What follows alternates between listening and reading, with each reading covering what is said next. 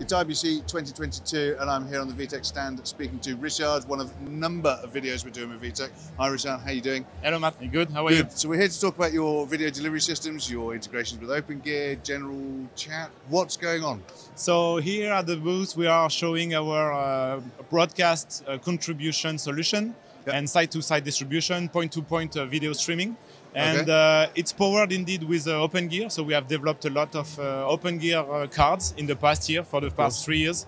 Uh, and the last one is the Diamond Plus OG, which is a four-channel HD 4K P60 uh, HEVC streaming cards. Okay. Uh, and uh, it can be integrated in the OpenGear system, obviously. And we can put up to 10 inside for, for 40 HD channel contribution links or for uh, 10, 10 4K contribution, contribution link.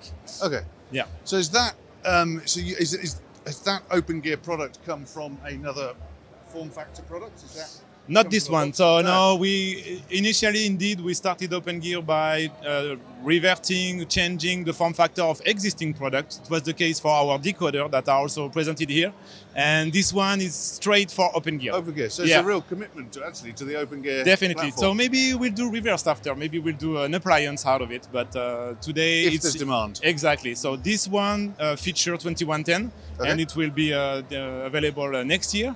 But it's really future-proof. Support HEVC, uh, Yeah. H.264, even MPEG-2 for legacy broadcast uh, workflows. So if you- you're showing it here, but it's not deliverable until No, it's uh, readily deliverable? available. it's already available. Yeah. Fantastic. Yeah, only uh, the 2110 feature will be developed a little bit uh, later, and uh, up to 4K60 support with 25G uh, input. So very nice card, ready for the future for all the next workflow that will come in.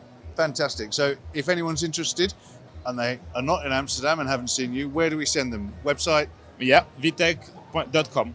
Fantastic. Thank you very much. Thank you very much, Rajad. So this is one of a number of videos we've done here at the VITEC stand at IBC 2022. And for all the other videos that we've been doing at IBC, please go to kitplus.com.